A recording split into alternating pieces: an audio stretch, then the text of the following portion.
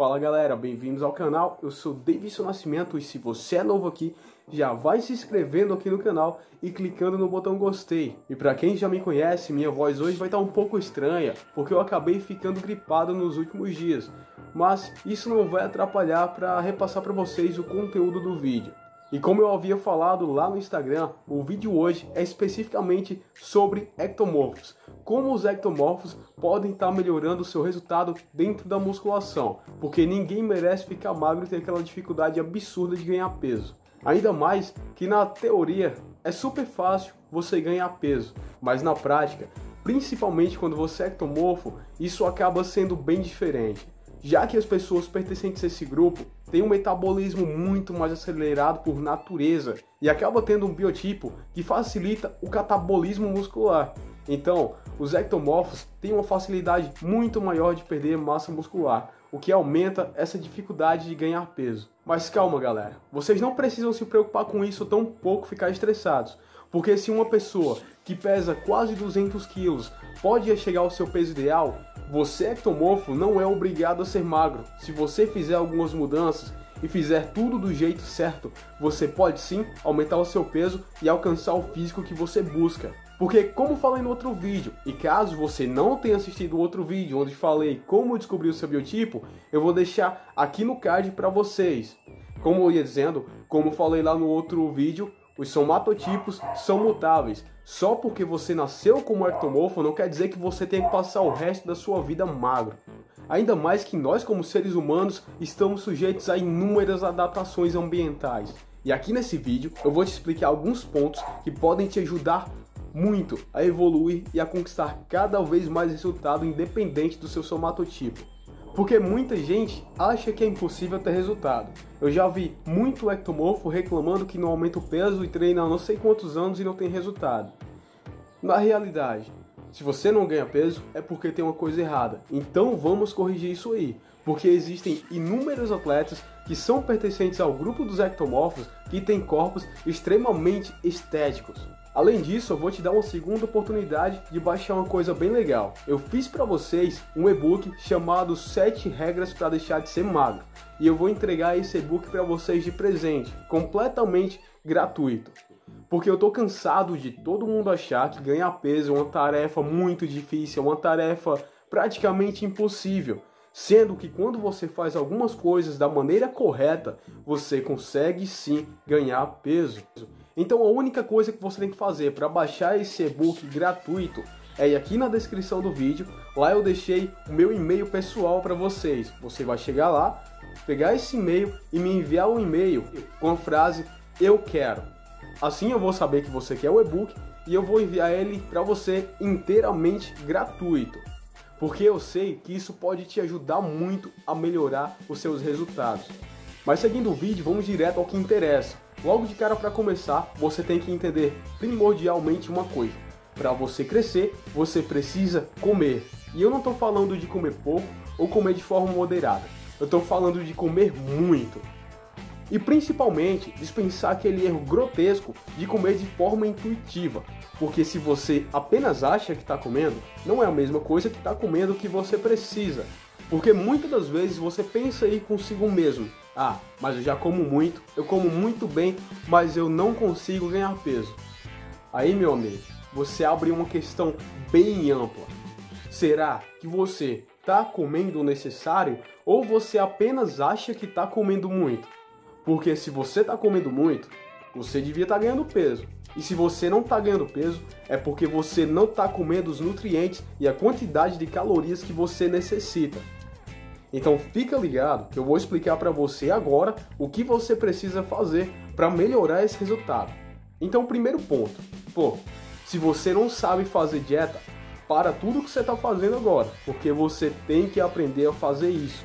E foi pensando nisso que eu criei aqui no canal um vídeo explicando através de um passo a passo como você pode estruturar sua alimentação, montar sua dieta por conta própria sem ter nenhum problema.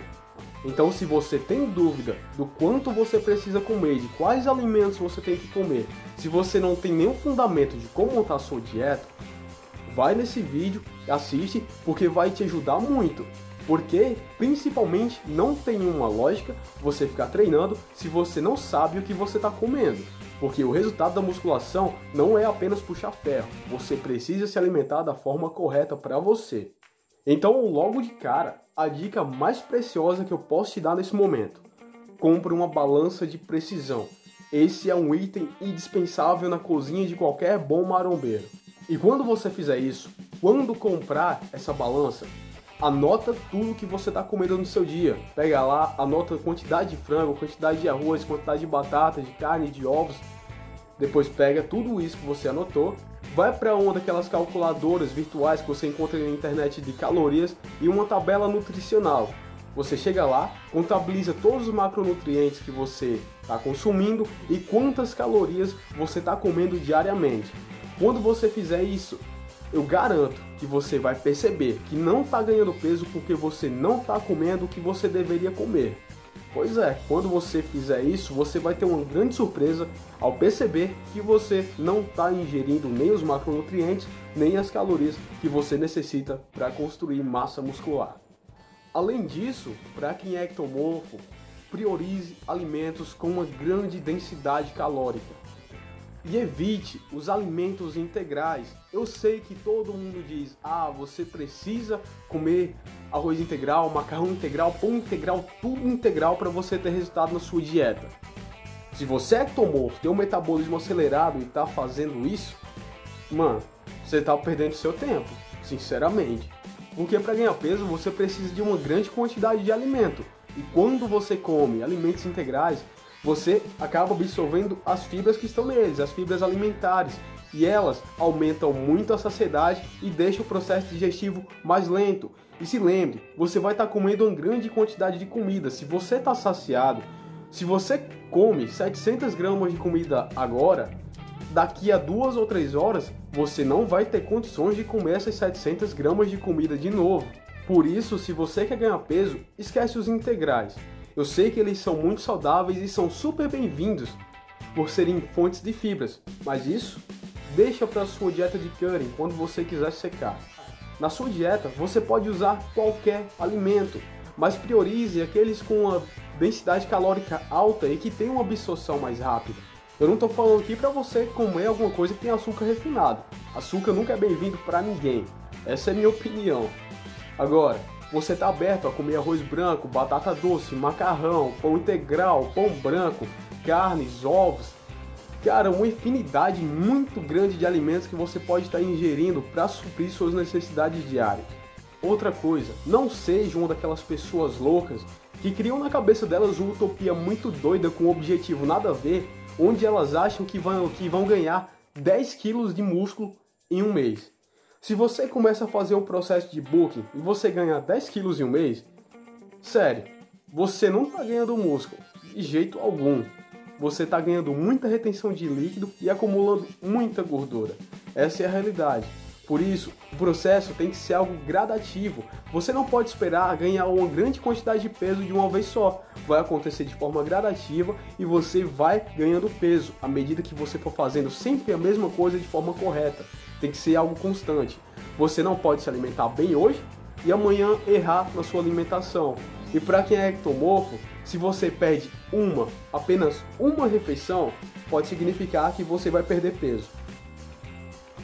E outra realidade, esquece essa bendita ideia de crescer seco.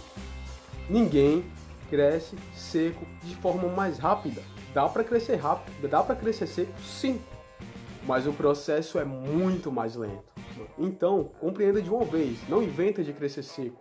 Se lembra que você é ectomorfo, que seu metabolismo é mais rápido por natureza, você vai queimar mais gordura, mas algumas coisas podem acontecer e você vai, no processo de ganho de peso, acumular um pouco mais de água, vai acumular um pouco de gordura. Isso faz parte do processo, então você tem que aceitar e fazer isso. Quando você estiver no seu processo de cutting para secar, essa gordura sai. Mas no processo de ganho de músculo, você tem que focar em ganhar músculo e vai vir retenção de água e vai vir gordura também. Lembra da tecla que eu estou apertando aqui a cada 30 segundos? Que os ectomorfos têm um metabolismo mais rápido estão suscetíveis de uma forma bem mais ampla ao catabolismo muscular? Então, Isso acaba refletindo diretamente no treino. O sistema de treinamento de um ectomorfo tem que ser adaptado para ele. Isso porque existem pesquisas que apontam que treinos mais curtos e mais intensos são mais eficientes para os ectomorfos. Isso, por, isso porque, em um ponto de vista científico, você tem que fazer um treino um pouco mais curto. Você não tem que passar horas dentro da academia. Isso não vai ser eficiente para você. Se você é ectomorfo, faz o seu treino. Assim que acabou ele, sua preocupação é se alimentar, porque é a comida que vai fazer a maior diferença para você. E durante os treinos, lembra da intensidade. Você não é o tipo de pessoa que vai querer fazer um treino muito repetitivo, com altas repetições. Coloca um treino com mais carga. Fique sempre a 60 ou 80% da sua carga máxima, sua carga de 1 RM. E nunca se esqueça, sua obrigação é treinar e correr para casa para se alimentar. É a alimentação que é o eixo da sua evolução. Uma dica extra: se você vai sair de casa, leva uma marmita na sua mochila, uma marmita na sua bolsa, leva alguma coisa para você comer. Se você está na rua, bateu sua hora de comer, você não pode ficar sem aquele alimento, ou isso pode significar que você pode acabar perdendo peso. Ah, mas você já falou algumas vezes que não precisa comer em 3 em 3 horas. É verdade, você não precisa comer de 3 em 3 horas. Mas imagina você comer um quilo e meio de comida de uma vez, quando você podia dividir isso em duas refeições. Não seria muito mais fácil? E você também tem a possibilidade de comer algum lixo fora da dieta, já que seu metabolismo é um pouco mais, mais rápido. Então, se você está na rua, não levou sua comida ou ficou mais tempo do que esperava e está sem ter o que comer, é muitas das vezes melhor você comer alguma coisa naquela lanchonete que vai suprir sua necessidade calórica do que você ficar com fome. Porque sair da dieta e comer uma coisa que você não deve é ruim, mas para você que é ectomorfo, ficar com fome é pior ainda. E se você tem dificuldade em comer, faça shakes. Isso vai te ajudar muito. Até porque o seu corpo vai conseguir digerir isso mais rápido e vai ser mais fácil para você conseguir colocar para dentro também. E se você tá com falta de apetite, não tá conseguindo comer, uma coisa que pode te ajudar muito é o Coba Vital, que eu também fiz um vídeo sobre ele aqui no canal. Então é só clicar no card que tá lá. E o Coba Vital, ele funciona abrindo seu apetite ele é muito bom para quem busca ganhar peso. É uma coisa que você pode estar tá usando para te auxiliar nesse processo de ganho de peso. E outro ponto que é importante para você, o descanso.